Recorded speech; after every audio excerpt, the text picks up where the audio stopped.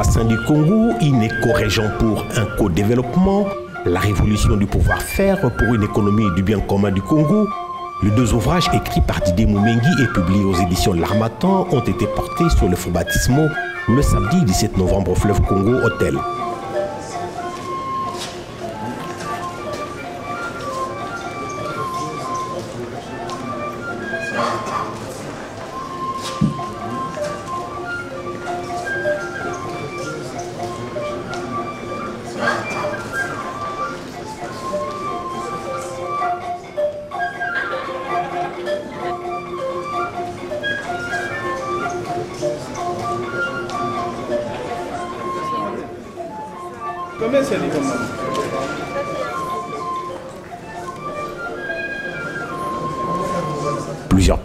Du monde politique et scientifique avaient répondu présent à ces rendez-vous du savoir.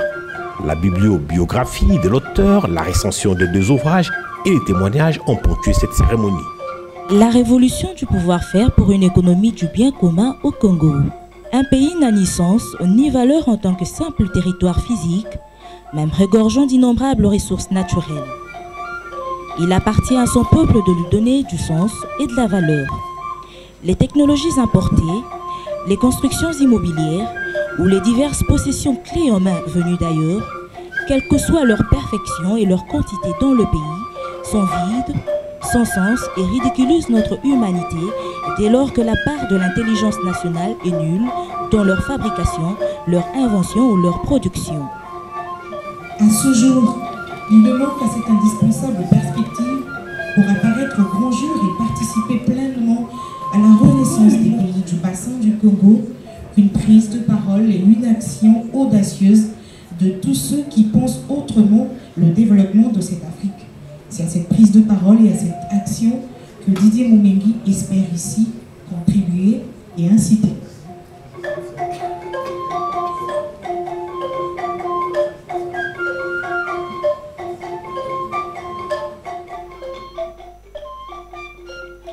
Ces passages sont tirés des ouvrages La révolution du pouvoir-faire et les États-Unis du bassin du Congo, écrits par Didier Moumengi, que je vous prie de découvrir à travers la présentation du professeur Edith Tamboué de l'Armaton, éditeur des ouvrages. Chers amis du livre, c'est toujours une fête pour, euh, pour un éditeur. À chaque sortie, euh, à chaque publication d'un nouvel, euh, d'un nouvel ouvrage, et aujourd'hui nous en avons deux, deux porteurs d'essence. On m'a demandé de présenter Didier Moumengi. Bon, beaucoup de gens savent que c'est un grand ami, donc je ne présenterai pas l'homme, mais je vais plutôt essayer de faire une sorte de biblio-biographie, c'est-à-dire de suivre le parcours de l'auteur au travers des ouvrages, puisqu'il en a 13 euh, à son actif. Mais je partirai aussi, euh, parce que Didier et moi, c'est aussi une histoire euh, amicale, une histoire personnelle, mais c'est aussi une histoire du livre. Nous avons une amitié très livresque. D'ailleurs, euh, nos épouses qui se connaissent savent qu'ils peuvent nous enfermer des jours et des jours. on ne parlera que des livres, on en fera, on ne fera rien d'autre. Je me rappelle, on s'est vu, moi j'ai sorti d'un concert, et j'ai vu quelqu'un qui distribuait des livres, on est en 1996 à Paris, et c'était Didier Moumengi qui venait d'écrire son premier livre, Esprit des ruptures. Et ça annonçait déjà le personnage, l'auteur qu'il allait devenir, qu'il est devenu aujourd'hui. Esprit des ruptures. Justement, c'était une sorte d'invitation à l'élite congolaise, au pays, de sortir du monisme dans lequel nous étions à l'époque pour une révolution, entre guillemets. Le monde, il n'a jamais quitté d'ailleurs. Aujourd'hui, il continue de parler de révolution. Mes retrouvailles avec lui ont- sont très significatives pour ma carrière d'éditeur.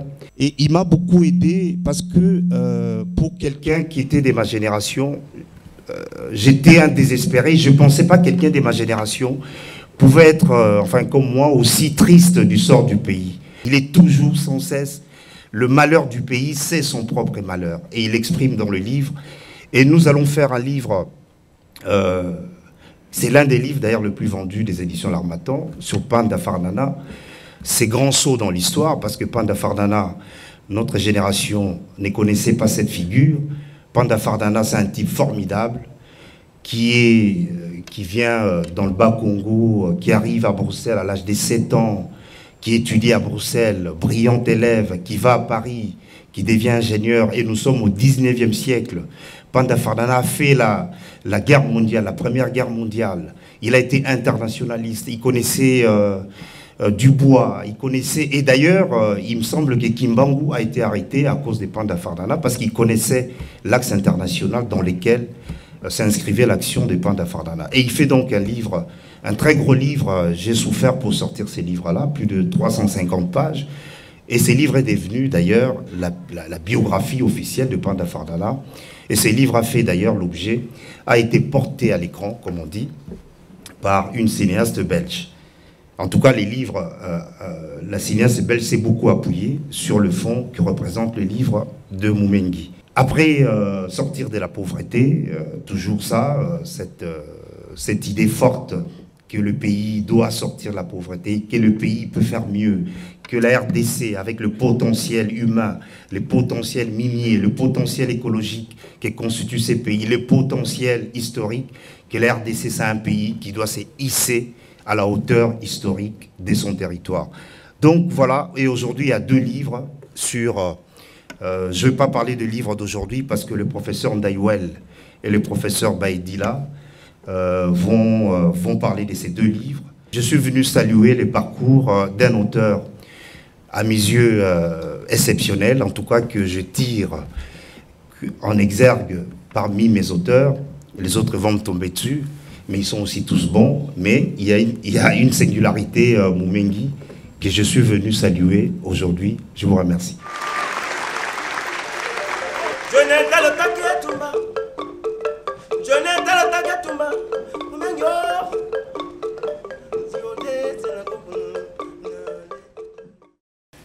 Les États-Unis du bassin du Congo, une éco-région pour un éco-développement, Tel est le titre voulu par Didier Moumengi pour l'ouvrage qui va bientôt être porté au fond baptismaux et que je me propose de vous présenter ici et maintenant. Je voudrais d'emblée vous dire qu'une lecture prospective de cet excellent ouvrage qui vient de paraître à Paris aux éditions L'Armatan dans la collection Compte rendu est un essai qui suscite une profonde interrogation. À savoir, aujourd'hui, le temps est-il arrivé pour le noir traditionnaliste de prendre sa revanche?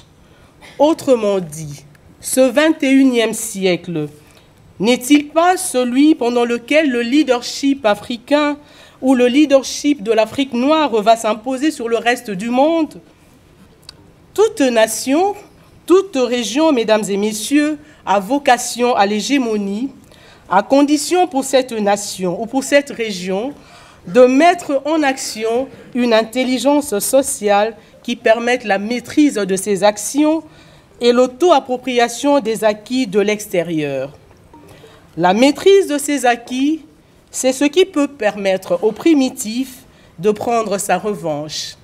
En effet, à l'heure où la maison de l'homme, la planète Terre, est en train de flamber par ses propres inadvertances, Seuls les acquis de l'Afrique noire permettent une protection ou une conservation durable de l'environnement, en l'occurrence les écosystèmes forestiers, contre le réchauffement climatique dû aux pressions anthropiques. Lorsque les fouilles archéologiques établissent le noir comme l'ancêtre de l'humanité, cette primauté s'accompagne du secret de la protection de la nature. La relation harmonieuse que le noir traditionnaliste entretient avec la nature est devenue aujourd'hui la seule voie de sortie pour combattre ou réduire le réchauffement climatique et ainsi sauver l'humanité. L'initiative Satoyama, par laquelle les Japonais invitent les hommes du monde entier de vivre en harmonie avec la nature, procède de cette intelligence sociale du noir africain. En effet, dans la vie quotidienne, l'homme noir a toujours cherché à vivre en harmonie avec la nature. Des interdits alimentaires, la présence des forêts sacrées, des mythes autour des forêts humides et d'autres pratiques traditionnelles ont permis de protéger des écosystèmes entiers et la biodiversité. L'Afrique noire, mesdames et messieurs, a donc pratiqué le développement durable tout au long de son histoire, avant même la prise en charge épistémologique de ce concept. C'est la raison pour laquelle tous les yeux sont aujourd'hui braqués sur les forêts humides, sur le bassin du Congo. Les effets induits négatifs du réchauffement climatique ont brusquement exposé les forêts, l'eau douce et la biodiversité du bassin du Congo à la convoitise de ceux qui en sont dépourvus. Didier Moumengi prévient du danger d'expropriation pour utilité mondiale qui guette ces ressources forestières de l'Afrique centrale du fait d'une sorte de fragmentation des politiques publiques, c'est-à-dire le défaut de stratégie. Face à ces convoitises et à ce défaut de stratégie, couplé à l'infortune des minerais, l'auteur préconise l'union des États qui ont en commun ce bassin du Congo, et cela dans une confédération qu'il nomme les États-Unis du bassin du Congo, où l'on doit procéder à la culture de la compétence par le biais de l'éducation et la recherche scientifique. La valorisation des ressources humaines demeure un préalable dont on ne peut se passer si l'on veut que le troisième millénaire soit celui de l'expression du leadership mondial du bassin du Congo. Didier Moumengi engage donc les lecteurs sur un itinéraire dont le but est de forger une volonté de puissance pour l'Afrique centrale, une vocation à l'hégémonie qui doit passer nécessairement par la création des États-Unis du bassin du Congo. Mesdames et messieurs, comme vous pouvez vous en apercevoir, ce rêve fondamentalement révolutionnaire est tributaire de l'émergence d'un leadership africain efficace pour créer un large consensus autour du projet, juguler ce que l'auteur appelle le mal hollandais, consolider les acquis de l'Afrique centrale et s'auto-approprier les acquis d'outre-mer. C'est à ces conditions, et à ces conditions seulement, que le primitif pourra prendre sa revanche. C'est à ces conditions que l'Afrique centrale pourra matérialiser sa vocation naturelle à l'hégémonie et saisir l'opportunité du 21e siècle que lui offre, et cela au travers de la lutte contre le changement climatique. Je vous remercie.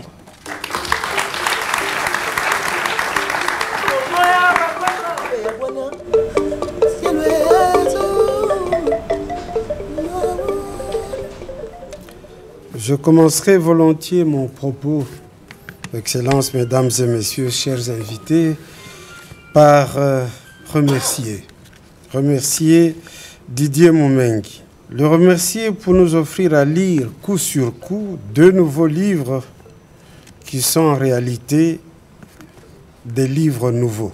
Les États-Unis du bassin du Congo et la révolution du pouvoir-faire pour une économie du bien commun.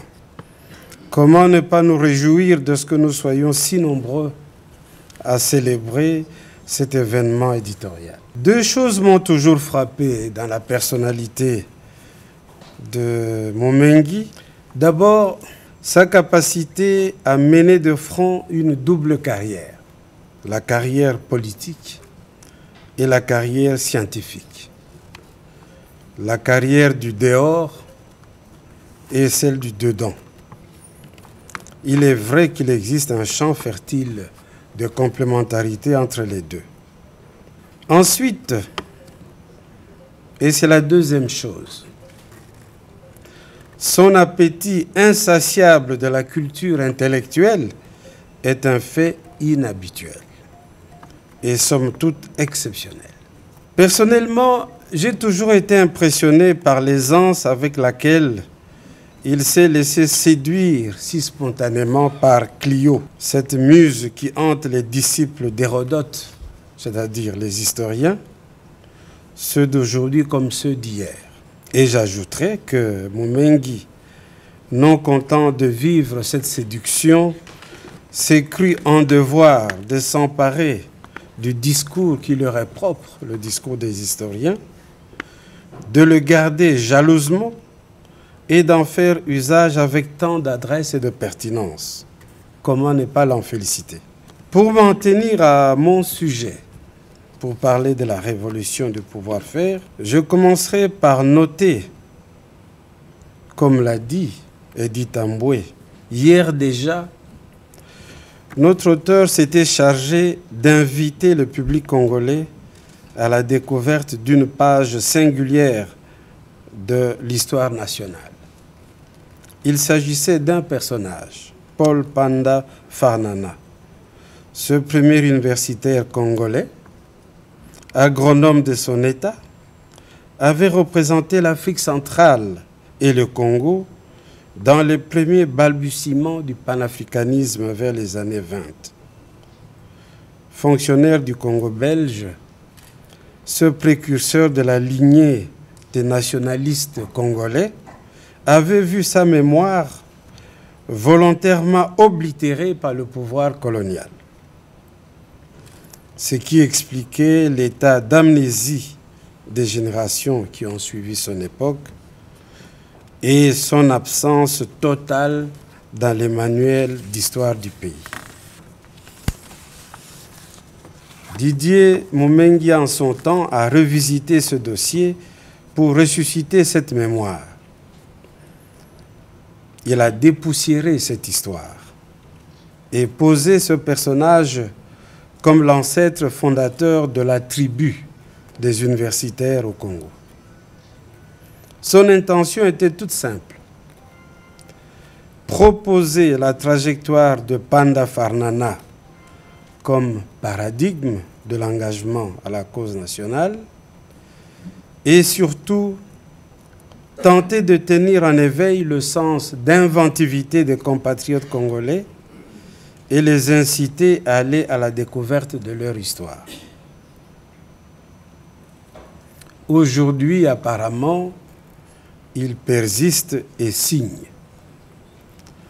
C'est un autre fait singulier de notre histoire qui sert de soubassement à son analyse.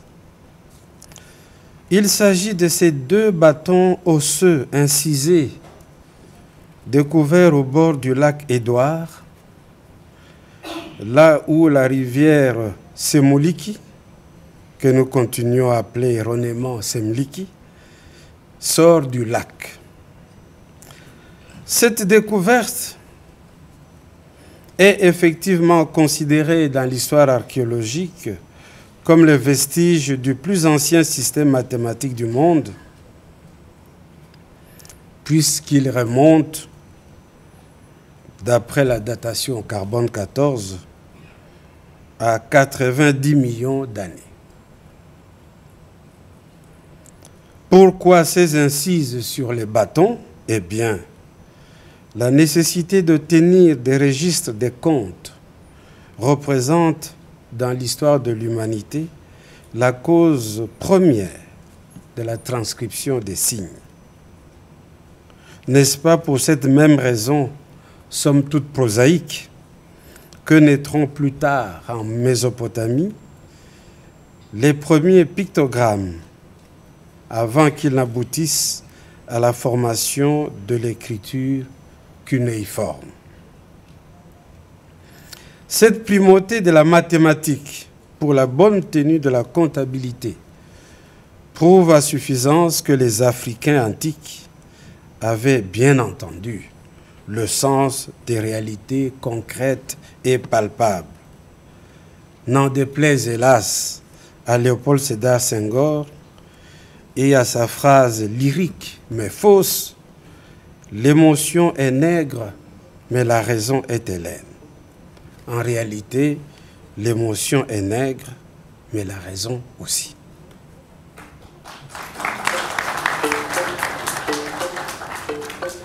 Ces objets, ces faits particuliers de notre histoire des commencements sont précisément à la base de l'interrogation de Didier Moumengi. Sans entrer dans le débat de savoir s'il y a effectivement un lien entre l'homme d'Ishango des temps préhistoriques et l'habitant actuel du territoire de Beni-Lubero, reconnaissons ici que son raisonnement tient la route. Si dans cet environnement a pu naître une invention de portée mondiale, c'est que ce milieu est propice à des surgissements intellectuels de portée mondiale. Ishango affirme-t-il, je le cite, c'est un symbole de l'Afrique des intelligences, des capacités et des possibilités. Faisons-le nôtre intimement, que l'on prenne la résolution de tout savoir sur ce symbole pour mieux comprendre le passé qu'il caractérise, afin d'en reproduire l'essence et la puissance. D'où l'importance de lutter contre les défaillances de la mémoire, d'assumer notre histoire, d'en être fier, de construire notre identité à partir de cette histoire qui n'appartient qu'à nous et qui est nous. J'ose dire que Momengi a fait ici une sorte de découverte à la manière de Jean-François Champollion de la fin du 19e siècle, qui en Égypte porta son regard sur la banale pierre de Rosette sur laquelle tant de regards s'étaient posés, mais sans réaliser qu'elle détenait la clé du mystère des hiéroglyphes. Vérité qui s'était savamment dissimulée dans une trop grande habitude d'être regardé. Ainsi, nous sommes nombreux à regarder sans voir et à écouter sans entendre. Donc, au-delà des faits extraordinaires, riches de renseignements, se pose en réalité le problème des hommes, capables de les exhumer de la nuit de l'oubli et de l'abîme de la cécité.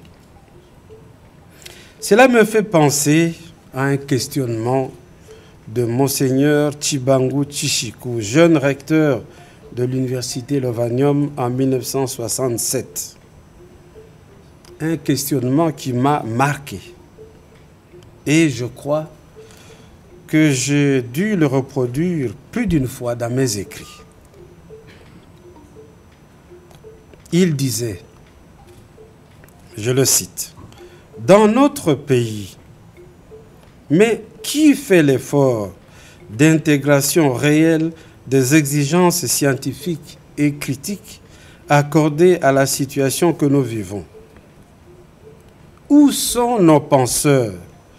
Qui portent leur regard sur les différents aspects de notre vie d'aujourd'hui et en tirent une lumière, répondent à nos interrogations et nous indiquent des voies pour nous réaliser authentiquement. J'ouvre ici une parenthèse. J'ai envie d'ajouter ceci pour illustrer cette carence des professionnels de la pensée. Où sont nos Kofi Olomide de médecine. Nos Papa Wemba des sciences économiques et commerciales. Nos Luambo Makiadi du droit ou de sciences politiques. Je ferme la parenthèse. Il est temps, c'est Chibangu qui conclut, il est temps que de tels représentants de la société se produisent pour que nous ne soyons pas perpétuellement des suiveurs et que d'autres continuent à penser et assumer notre société pour nous. Fin de citation. Au moins, Didier Moumengi a osé. Osé dire, osé parler, osé transgresser l'interdit d'être simplement suiveur. il est heureux que la célébration de ces deux essais se fasse en présence de Théophile Obenga. C'est lui-là même à qui Cheikh Anta Diop, d'heureuse mémoire, avait donné des indications et des consignes précises à suivre pour devenir un bon chercheur africain. Dans la préface de l'Afrique dans l'Antiquité de Théophile Obenga, ouvrage magistral, cher Théophile, qui devra à tout prix être réédité, Cheikh Anta Diop a insisté sur la nécessité d'être audacieux ambitieux et courageux. Et en prélude à cette démarche, a-t-il écrit, à l'adresse donc des jeunes chercheurs, Armez-vous de science jusqu'aux dents. En d'autres termes, soyez de grands érudits. Soyez plus savants que vos maîtres d'hier. Au moins, ayez cette prétention.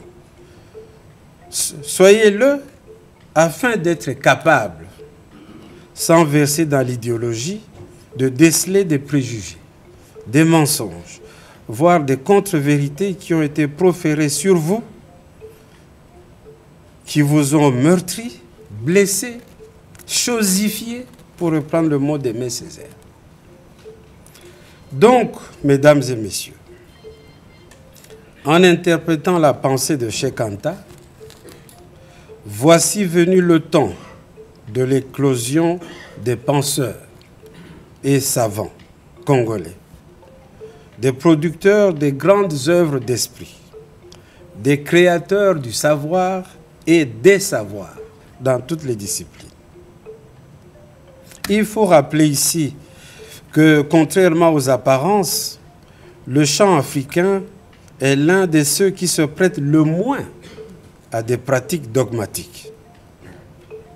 Au cours du dernier siècle, c'est ce continent, avec ses énigmes de tout genre, ses réalités inédites, ses situations excentriques, qui est à la base, tenez-vous bien, du progrès des sciences dans le monde. Ce sont ces réalités qui ont formé tant de savants qui peuplent les universités européennes et nord-américaines.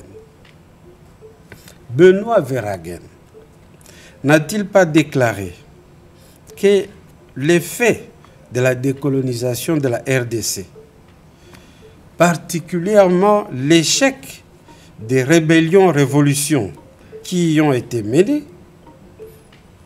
toutes les conditions ayant été réunies pour qu'elles réussissent, eh bien, ces faits-là remettaient totalement en cause toutes les théories énoncées jusqu'ici en sciences politiques.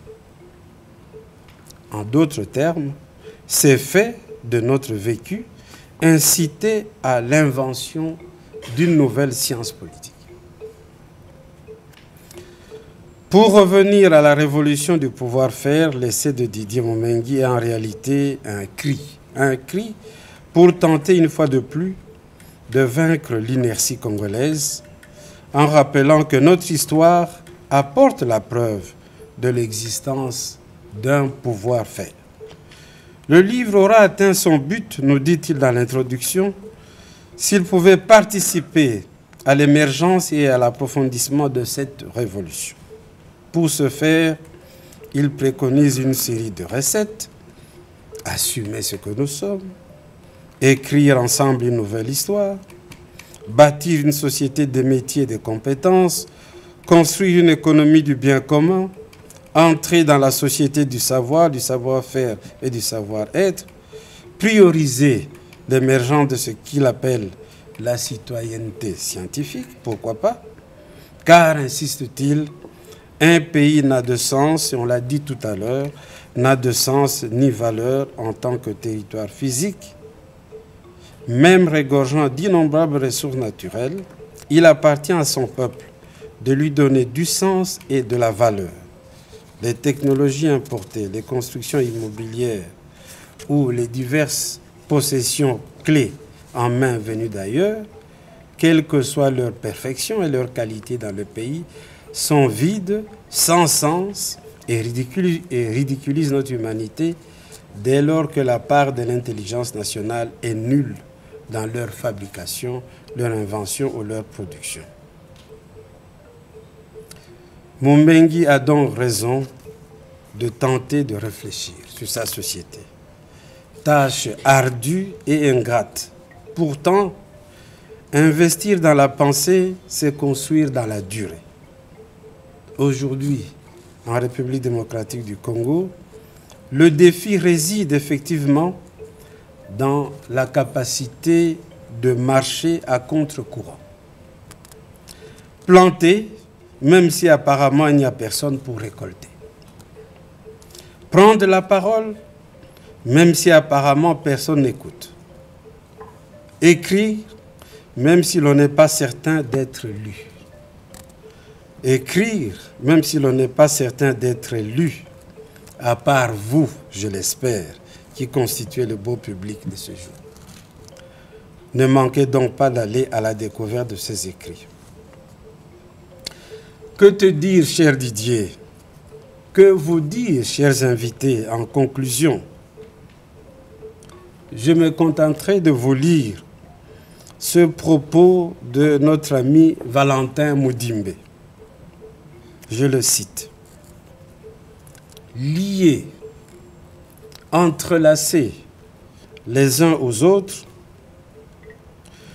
nous finirons bien un jour à nous transformer en un câble capable de déplacer fleuves et montagnes.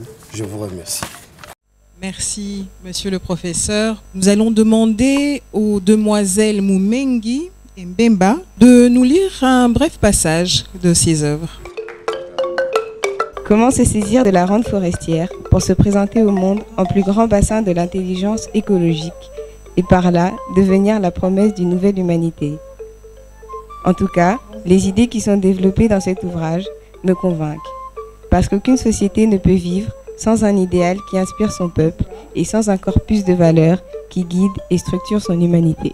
Et si le Congo était le berceau des sciences Comment transformer la vie nationale en écosystème d'affaires et de performance sociale Comment construire la citoyenneté scientifique congolaise? Comment faire entrer le pays dans la société du savoir-faire et du pouvoir-faire Telles sont les articulations majeures de la révolution du pouvoir-faire. Certaines personnes ont émis le désir de faire des commentaires libres. Alors ce sera l'honorable Sheokitundu, le professeur Bioya et monsieur Trésor Kassiak. Toute ma satisfaction à la, au vernissage de, de ces livres, féliciter mon ami Didier Moumengi. Le professeur a dit tout à l'heure qu'il était un politicien du deux temps et du dehors.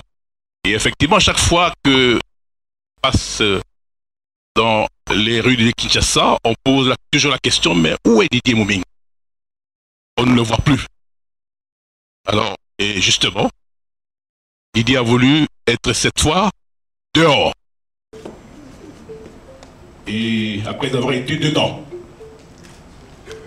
euh, on a fait un parcours ensemble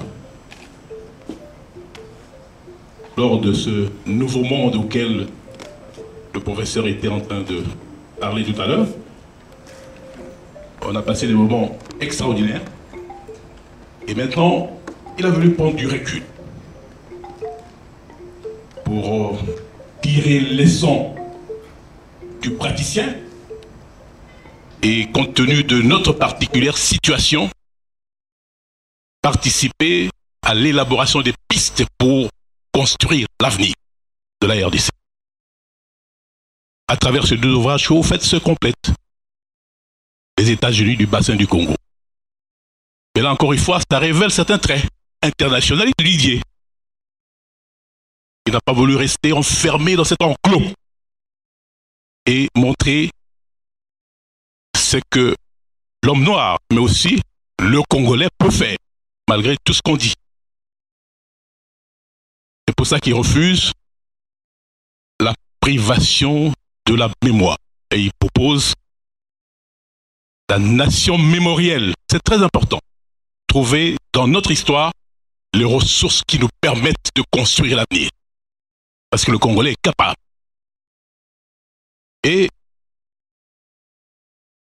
Les États-Unis du bassin du Congo, on le rappelle souvent, la RDC, c'est le second poumon de la planète. Il ne faut pas qu'on l'oublie. Après l'Amazonie, il y a aussi l'Indonésie, mais au fait, le bassin du Congo est plus important que le bassin indonésien. Et ça nous confère une responsabilité planétaire. Parce que elle contribue à la survie de la planète. Merci Didier. Et puis alors, le second, le, le concept que j'ai retenu, l'économie du bien commun. Alors là, vous voyez, ce bouquin est tout aussi idéologique. Au fait, c'est la version congolaise de l'économie sociale de marché. Monsieur le secrétaire général, je crois que vous n'êtes pas sous. Et là, Didier a beaucoup insisté sur la formation. Sans formation, on ne peut aller nulle part. Je remercie Didier pour cette idée de l'économie du bien commun, parce que justement, c'est l'avenir de la République démocratique du Congo. Alors je dis, salut l'artiste. J'ai trouvé que Didier, qui était un fin penseur, mais qui est aussi un brillant politicien, semble en fait cacher dans la théorie, dans la pensée, les échecs, les devoirs de la politique africaine. Pas, ça, pas ses devoirs à lui, mais les devoirs des systèmes africains. À quoi sert la politique en Afrique? Pourquoi fait-on la politique en Afrique? À quoi consistent les ailes politiques africaines Parce que le problème de l'Afrique demeure en dépit de la multiplication des génies politiques. Pourquoi faisons-nous la politique? Pourquoi avons-nous des gouvernements en Afrique? En lisant les deux ouvrages, j'ai retenu deux choses. Est-ce que ce projet ne répond pas, je me pose la question, aux problèmes épineux auxquels notre pays est confronté en ce moment Est-ce que ces livres n'apportent pas des éléments de réponse aux grands défis auxquels notre pays fait face? Pour moi, je pense que oui. Mesdames, Mesdemoiselles et Messieurs, Monsieur Didier Moumengi. Mesdames et Messieurs, ces moments est très certainement les plus gratifiants de ma vie. Je remercie du fond du cœur toutes celles et tous ceux qui ont travaillé jour et nuit pour le rendre possible. Je voudrais d'abord intensément remercier le professeur Edith Tamboui qui a accepté que ces deux ouvrages soient publiés dans la collection qu'il dirige aux éditions L'Arbaton.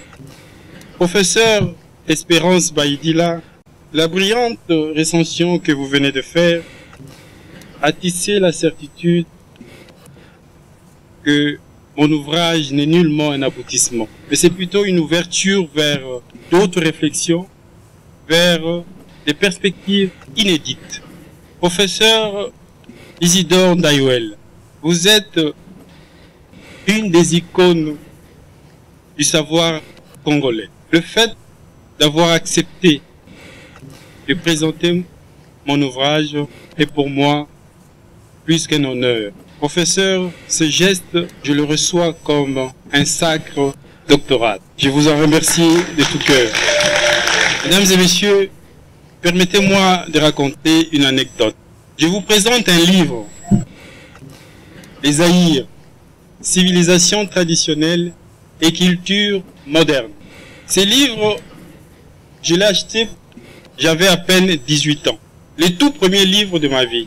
Depuis lors, son auteur est resté mon invisible professeur et mon lointain guide intellectuel. Aujourd'hui, Mieux que se rendre visible, l'auteur de cet ouvrage a accepté, 32 ans après, à baptiser mes propres ouvrages, à traverser le fleuve Congo pour me faire cet honneur. Je voudrais, et je vous prie du fond du cœur, nous lui accordons les ovations d'un grand savant.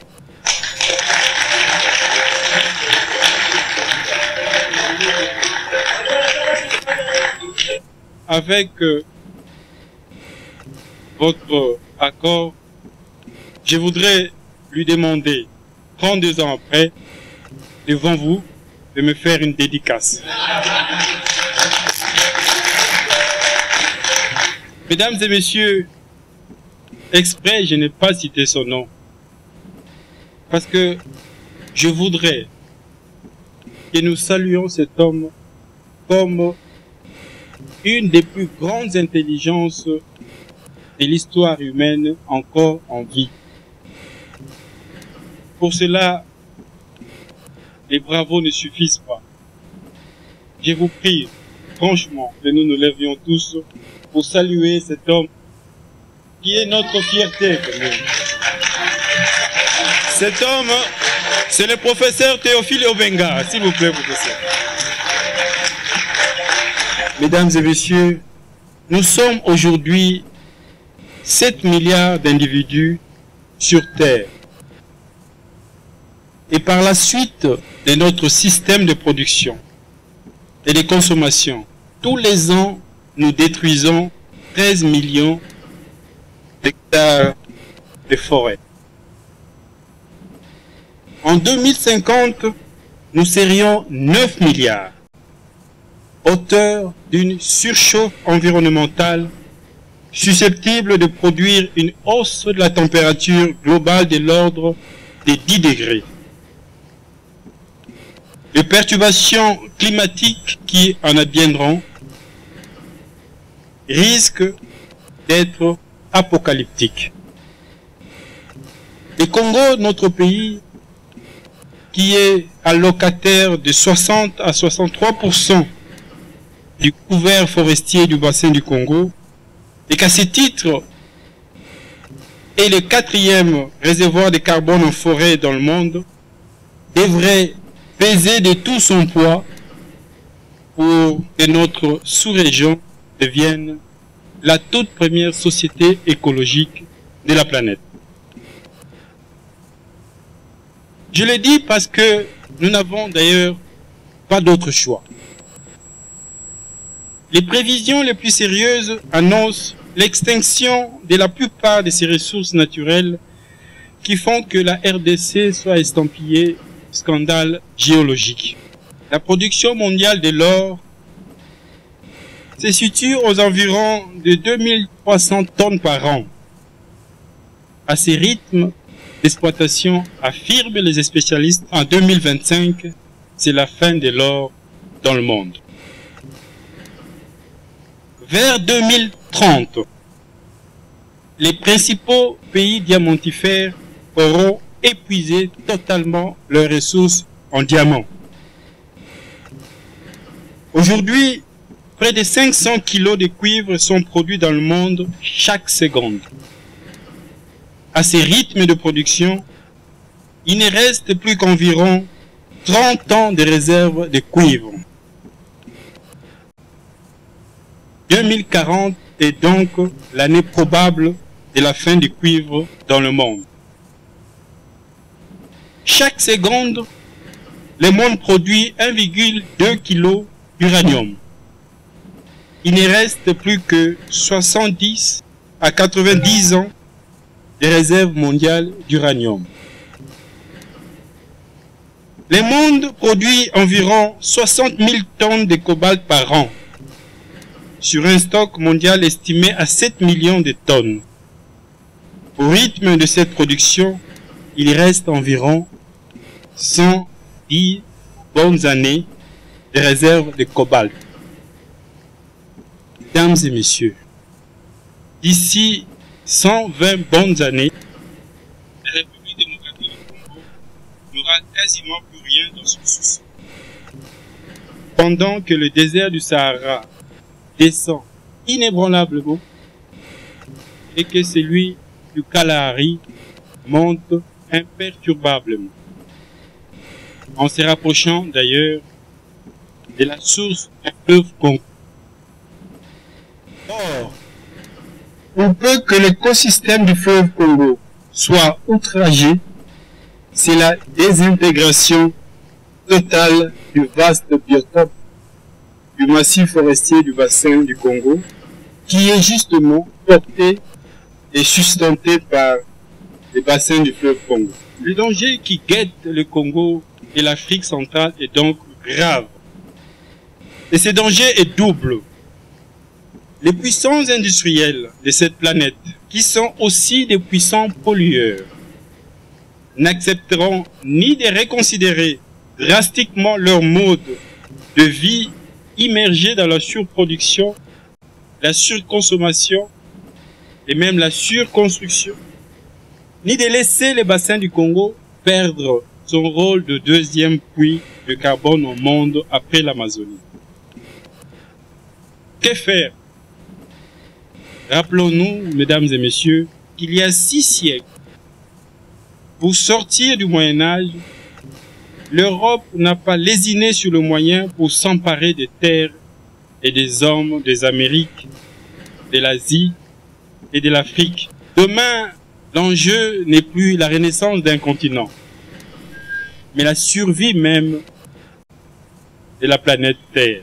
Nous courons donc, mesdames et messieurs, les risques d'être délogés de cette partie de l'Afrique qui fait office de deuxième poumon du monde et disparaître à l'image de l'extinction des peuples du soleil. Rappelez-vous, les Incas, les Aztèques et les Mayas. On les appelle d'ailleurs civilisations précolombiennes parce que justement disparues après l'arrivée de Christophe Colomb au XVIe siècle. Depuis lors, l'Amérique du Sud est devenue latine, donc blanche. Demain, l'Afrique centrale risque de ne plus être noire. Je ne peux taire plus longtemps ma gratitude particulière que j'ai vis-à-vis de ma famille. Ma grand-mère d'abord, décédée au mois de juin de cette année, et ma mère, la gracieuse Madeleine, qui m'ont toujours encouragé et m'ont permis de réaliser mes études. Je pense également à Angèle, mais aussi mes quatre enfants, qui par leur amour me procurent un soutien de tous les instants. Des amis très sincères m'ont fait l'honneur de traverser le fleuve Congo pour témoigner leur sincère amitié.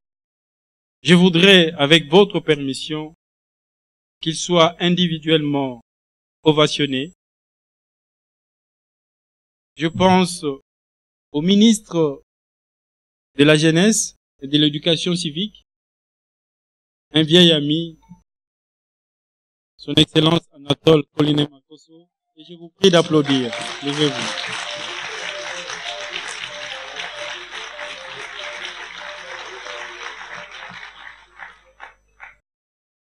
Je lui dois une profonde gratitude, justement parce que les projets des États-Unis du bassin du Congo a commencé lors d'un colloque qu'il avait organisé.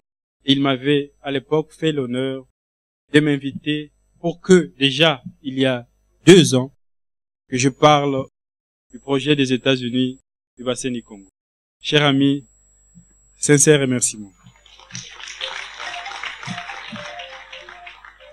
Je voudrais aussi demander votre grâce pour que nous ovationnons ensemble le ministre Grégoire de Fouba et le ministre Bonaventure Mbaya, tous deux aussi professeurs d'université, qui ont traversé le fleuve Congo pour participer à ces moments du savoir.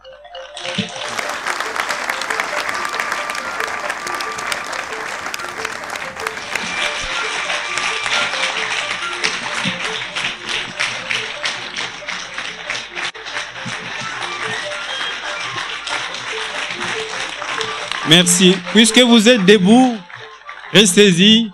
J'invite le parrain de cette manifestation, le professeur Théophile Obenga, pour la cérémonie de baptême des ouvrages. Professeur. Voici l'homme qui pour moi est resté longtemps un professeur invisible. Aujourd'hui, il est mon professeur visible tout a été dit et on vient toujours en retard pour dire quelque chose. Je remercie donc l'auteur, qui est un grand auteur, non seulement dans l'écriture, mais aussi dans la réflexion. Devant vos autorités, je bâtis ces ouvrages et je leur euh, promets ce qu'ils portent en eux déjà, c'est-à-dire un brillant avenir pendant des siècles encore.